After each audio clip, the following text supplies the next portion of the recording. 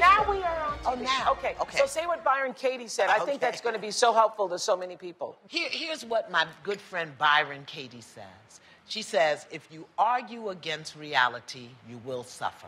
Yes. If you argue against reality, you will suffer. I just want everybody to receive that for a moment.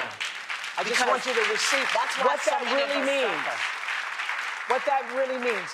Whenever you're, another way of saying that is when you are pushing against what is. That's right. And wanting what is to be different than what it is, you are going to suffer or have stress. That's really the definition of stress. Yeah. You want the situation to be something that it isn't, whether you're sitting in traffic or whether you're sitting in a marriage. a bad marriage, A bad whether marriage. your inner child is really seeking revenge against daddy, you, you, you're going to suffer. And the way, is she frozen?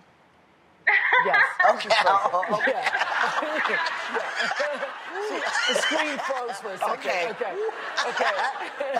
Okay. yes. Whenever, and the suffering is both emotional.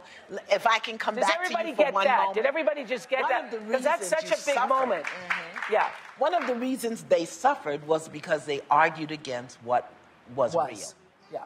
Yes. And I think people confuse accepting reality to Being okay to or being liking okay it, or liking giving it. it permission. Okay, so accepting it is not the same thing as, No. as liking it. Because you have responsibility Ability.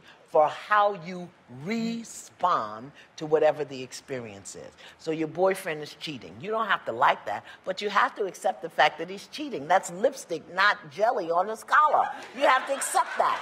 Then you get an opportunity to choose Choose how to how, res- how to respond and how you're going to continue to participate in it. Okay, Yeah. so whether it's your it's in a relationship situation, the reality is I just lost my job. That's right. The reality is I need to make a change. The reality is, I hate my job. I hate my this job. is a reality. I hate my job. I hate my job. But every day you go to work and make it about what other people are saying and doing to you.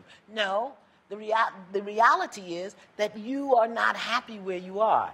Take responsibility, either to find the joy and the pleasure in this job or leave. Okay. But don't be there being miserable. Yeah.